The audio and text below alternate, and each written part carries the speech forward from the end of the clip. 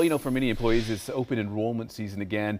Open enrollment generally begins at the end of September and into early November. And this is an opportunity for you to review your company's employee benefits package and determine whether you should make some changes for the upcoming year. Luckily for you, joining us right now to talk about the advantage of this period is CPA Kemberley Washington.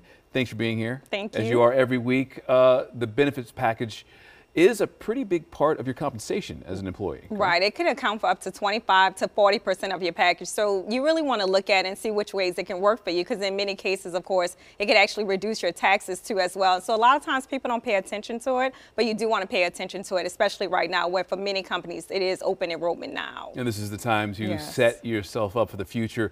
Uh, one of the things that are in these benefit packages a lot of times are spending, flexible spending accounts. What is this all flexible spending accounts. And a lot of people don't use these, but these can really work great for your situation. So if you're a person, you know you're going to have medical expenses, you can put some money away for a pre-tax account. And so you tuck in this money away, it's not being taxed, but then you can use this money for after-tax expenses. So different qualified medical expenses. Also, a lot of people don't realize you can also use it for child care expenses too as well. So if you're paying those child care costs, those dependent costs, you can put some money away and up to $5,000 into a flexible spending account. So it's a great way to save on taxes and also use it for those qualified expenses. Yeah, pre-tax is the key Yes, there, right? pre-tax is the key. All right, let's talk about um, retirement accounts. Uh, Yes. What's your approach on those? So as it relates to retirement accounts, you can put up to $19,000 for the year 2019 forward. Again, this is another way to also reduce your taxes. In many cases, employees are actually going to match your amounts for dollar for dollar. So this is a great way, especially if you're looking to save for retirement and you're looking towards your future. This is a great way and place to start because again, not only are you saving for retirement,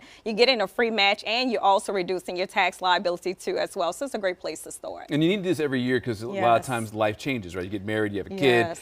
Uh, what are the important things to know about how to cut costs this time of year? So how to cut costs. So another thing that you can look at was are called HSA accounts. So it's health spending accounts. So if you have a high deductible plan and you're looking for ways to cut costs in those plans, you can use the HSA. The great thing about the HSA, it works a little bit different from a flexible spending account because that money can roll over from year after year. You can actually invest that money in stocks and bonds too as well. And then in the future, you may be able to use it for retirement. So that's something that you can look at. It's a way to cut costs and you can actually take it as a deduction on your tax return. So again, another way to reduce your tax liability. That's what you're an expert at. Yes. Well, speaking of your expertise, time for now for your Kim Sense. So right now it is open enrollment with healthcare.gov. So this is the time right now in the period that you're going to utilize. Go to the website and get the health insurance that you need. The period runs from November 1st to December 15th. So if you enroll outside of that period, and chances are you may not be able to. So you want to take advantage right now to make sure that you get the health coverage that you need. All right, always great to have you Thank here. you we'll put so all this on our website, WDSU.com.